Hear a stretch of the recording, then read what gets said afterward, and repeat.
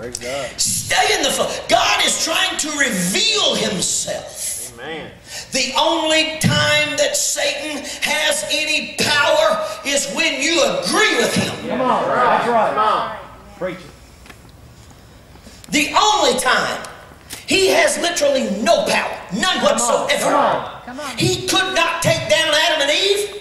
Right. They agreed with him. Yep. Amen. Yeah. That is the exact example to every one of us. He offered them, he spoke, they said, Oh, that looks nice, that looks good, I'll agree, hey, I like some of that. Yeah. Give me some of that. And that's what is luring the church into a powerless state of mind. That is what's luring the church into a place that we no longer believe in signs, wonders, and miracles. That's what's luring the church into a place that we're going to become stagnant if we don't watch ourselves. But we've got to continue to flow